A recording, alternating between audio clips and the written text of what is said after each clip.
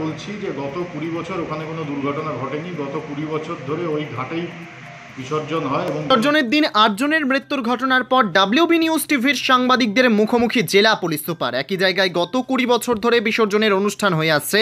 এমন দুর্ভাগ্যজনক ঘটনা কখনো ঘটেনি।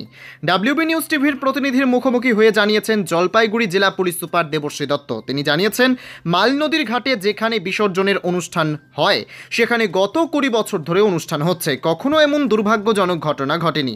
তবে গতকাল রাতের ঘটনায় এখনও পর্যন্ত আটজনের মৃত্যু হয়েছে বলে জানান জলপাইগুড়ি জেলা পুলিশ সুপার দেবশ্রী দত্ত।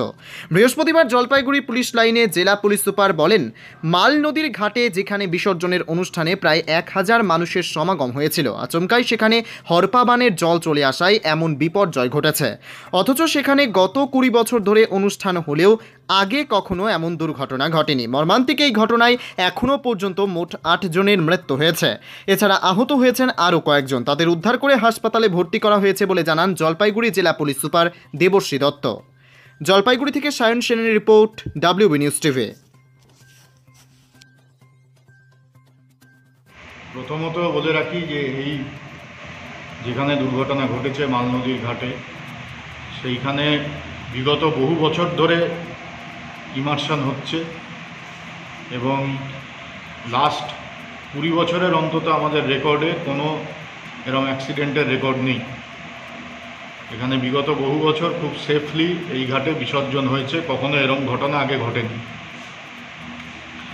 দ্বিতীয়ত, আমাদের প্রপার অ্যারেঞ্জমেন্ট ছিল পুলিশ এবং সিভিল তরফে। এসডিও এসডিপিও নিজে প্রেজেন্ট ছিলেন। সিভিল ডিফেন্সের টিম ছিল। মিউনিসিপ্যালিটির ভলেন্টিয়ার মোর দ্যান ফিফটি ছিল মেডিকেল টিম ছিল। ভাসান যখন ভাসান যখন শুরু হয় তখন less than knee deep water ছিল, যেরম ছিল। কালকে সারাদিন it was a very dry day ভাসান শুরু হয় যখন হাঁটু জলেরও কম জল ছিল। রাত্রি সাড়ে আটটা নাগাদ হঠাৎ বান আসে। উইদাউট এনি অ্যাডভান্স ফোরকাস্ট এবং সেই ভানে কিছু লোক ভসে যান। সেই সময় ঘাটে অন্তত এক হাজার লোক উপস্থিত ছিলেন। যারা ভেসে যান, তাদের মধ্যে অন দ্য স্পট কুড়ি পঁচিশ জনকে উদ্ধার করা হয় হসপিটালে পাঠানো হয়। তেরো জন অ্যাডমিট হয়েছিলেন। বাকিদের প্রাইমারি ট্রিটমেন্টের পর ছেড়ে দেওয়া হয়েছে। হাওয়ার ভেরি স্যাডলি আটজন মারা গেছেন। কালকে রাতেই তাদের বডি রিকভার করা হয়েছে। এবং ঘটনা ঘটে যাওয়ার more than twelve hours of crossed এখনও অবধি আমাদের কাছে ফার্দার কোনো কারও ভার্বাল বা রিটার্ন কমপ্লেন নেই যে তার বাড়ির লোক মিসিং আছে। কতজন ভেসে যায়? না কিছু কম সংখ্যায় ছিল না যথেষ্ট পরিমাণে ছিল। NDRF is a reserve force তারা আগে থেকে আসে না তারা দুর্ঘটনা হলেই আসে। তারা কখনো ঘাটে দাঁড়িয়ে থাকে না। আর সিভিল ডিফেন্স যথেষ্ট পর্যায়ে ছিল। যা। থাকা তা পুরোপুরি ছিল। প্রায় কুড়ি পঁচিশ জন আমরা সতেরো কুড়ি জন মতো রেস্কিউ করা হয়েছে। আর আটজন মারা গেছে সেটা থেকে একটা আন্দাজ করা যায় হুম, পঁচিশ মানে সাতাশ আঠাশ জন ভেসে গেছিলেন। তল্লাশি এখনও চলছে। তবে আমাদের মনে হয় না মানে there are any more missing person NDRF চালাচ্ছে? সিভিল ডিফেন্স চালাচ্ছে স্যার একটা জিনিস যেটা বলা হচ্ছে যে এই নদীতে জল বেশি থাকার জন্য মহালয়া আমি শুরুতেই বললাম বিগত কুড়ি বছরের বেশি ধরে এই নদীতে এই জায়গাতেই বিসর্জন হয় এবং কোনো দিন কোনো দুর্ঘটনা ঘটেনি।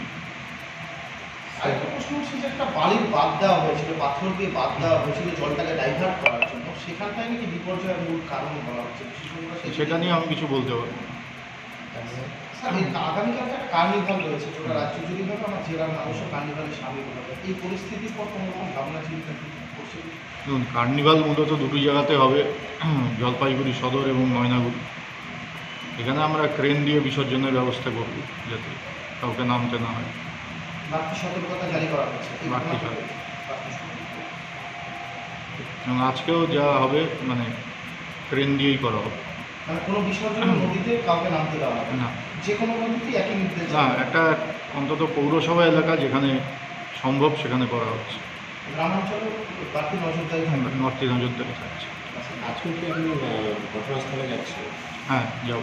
আর এখনও পর্যন্ত কি কোনো রাজ্যের থেকে কোনো মন্ত্রী আসবে বা কোনো ক্ষতিপূরণের কথা এখনও কি জানানো হয়েছে ক্ষতিপূরণ তো সরকারি নিয়ম অনুযায়ী সেটা করা হবে। আর অন্য কেউ আসছেন কিনা সেটা আমাদের এখনও জানা নেই। স্যার সিভিল ডিফেন্স এবং এনডিআরএফ সেই পর্যায়ে এবার বলছি যে গত কুড়ি বছর ওখানে কোনো দুর্ঘটনা ঘটেনি। গত কুড়ি বছর ধরে ওই ঘাটেই বিসর্জন হয় এবং কোনো ইনসিডেন্ট হয়নি।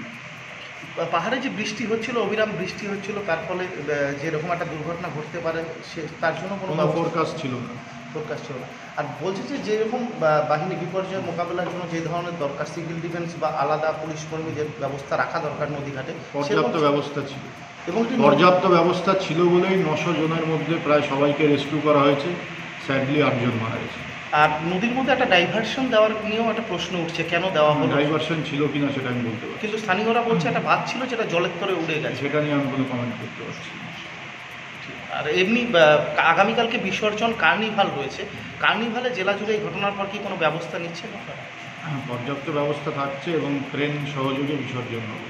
আর আজকে যেগুলো বিসর্জন হবে তার জন্য বাড়তি নজরদারি? তার জন্য বাড়তি নজরদারি বা কোথাও যদি বিকল্প জায়গা হয় তা খোঁজা হচ্ছে। দেওয়া হবে না জলে না হ্যাঁ